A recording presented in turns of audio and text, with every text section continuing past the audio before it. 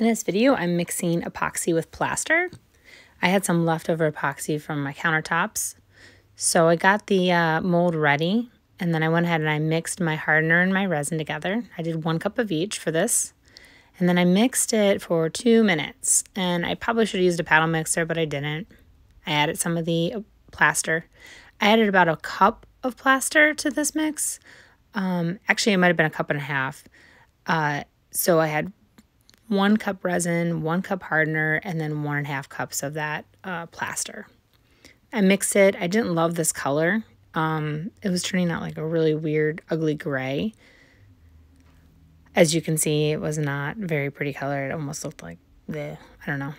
Um, so I went ahead and I add the black mica powder. So I kept mix mixing in that black mica powder until I got to the color that I wanted, which was just dark black.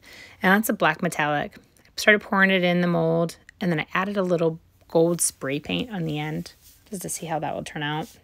Poured that in, let it sit, and then um, I opened the mold. I had a hard time opening this mold. I had to have my husband come in and help chisel this mold out. Um, apparently, the, the resin got really hot, and my 3D mold inside kind of warped. So the inside of the mold, um, like the cast, got large.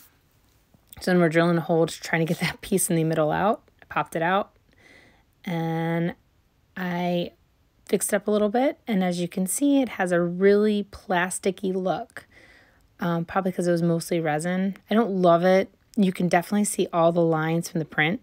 And some of the other ones, the other casts that I've done, you can't really see those print lines. But here you can. You see the gold, and you can also see that it also picked up some of that blue from my old cast. So here you are, my epoxy and plaster little pot.